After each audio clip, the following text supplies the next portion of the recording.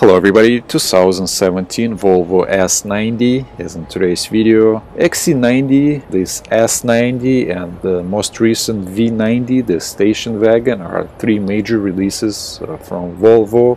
And uh, this S90 originally was due to appear before XC90 they still share the same uh, architecture, powertrains, electronics, interface and design ideas, but S90 goes a bit further in the areas of uh, autonomous driving, collision avoidance, and uh, it made more sense to release it after XC90 in this lineup. It still replaces the um, S80 as the main uh, sedan. And now just a few days ago it's uh, been joined by all new V90, the station wagon version.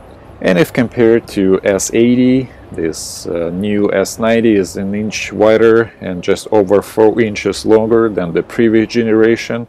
And there will be an, uh, the longer wheelbase uh, version available, uh, of course starting with the Chinese market where this type of vehicles are very uh, popular. XC90, S90, V90 will have four-cylinder engines only as Volvo announced and the XC90 and S90 upper powertrains are all-wheel drive plug-in hybrids uh, which Volvo calls T8 twin engine. It's uh, three. It has uh, three modes: uh, First is EV, available to drive at speeds up to 75 miles an hour. Then hybrid, switching uh, among gas and electric power or its combination. And there is also a power mode. Uh, it's a gas engine and electric power combined that produces 400 horsepower and 472 pound-feet of torque. S90 will utilize turbocharged and supercharged 2-liter engine. It is T6 version uh, that is paired with 8-speed uh, automatic transmission and all-wheel drive. Uh, this engine produces 316 horsepower and uh, 295 pound-feet of torque. It also will be available in T5 uh, version. It is turbo only, the same 2-liter engine with front-wheel drive and the same 8-speed automatic transmission. Air suspension will be also available, but only for rear wheel axle, not like on uh, XC90 where it is uh, on the uh, front and the back.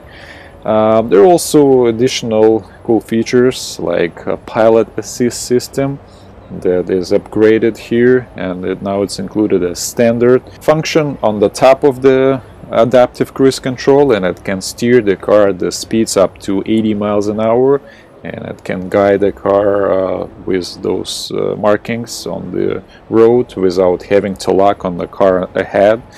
Uh, then there is a City safety system that works on low speeds uh, to prevent forward collision and uh, autonomous braking also comes standard vertical touchscreen uh, very similar to Tesla the same exactly as on uh, XC90 very sharp graphics uh, very nice logical operation and interface that it's very easy to get used to.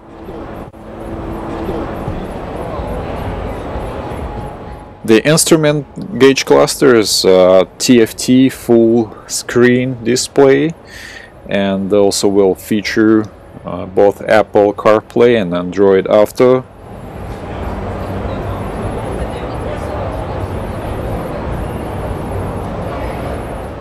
Uh, new design, very uh, concept-like, still looks like a concept even uh, though it is already a production vehicle.